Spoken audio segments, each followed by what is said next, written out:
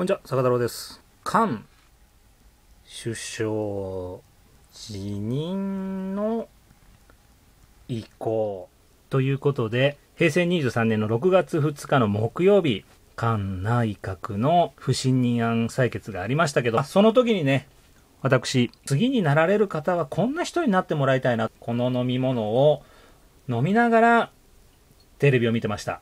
こちらです。タフマン。チェンジ。チェンジ。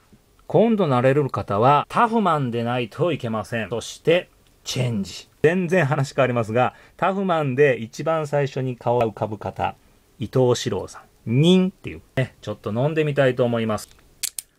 ニン。いただきます。おさすがチェンジだけあって、変わっていこうとするね、心意気が感じられますね、チェンジ。チャンゲじゃないですかね。チェンジをチャンスにするっていう。チェンジ、チャンス。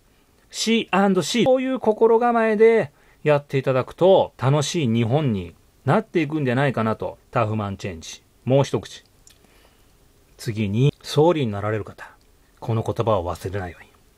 Now get the chance. それでは。